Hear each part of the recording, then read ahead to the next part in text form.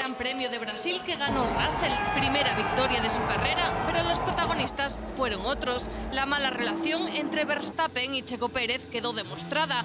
Red Bull pidió al campeón del mundo que dejara pasar a su compañero en la parte final de la carrera y el neerlandés se negó.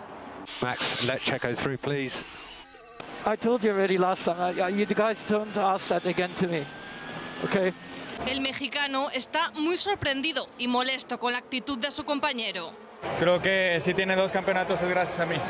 Alpine cortó en cambio la tensión entre Fernando Alonso y Ocon de raíz.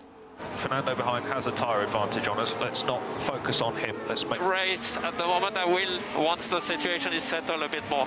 I do not want you fighting Fernando, as long as that's clear.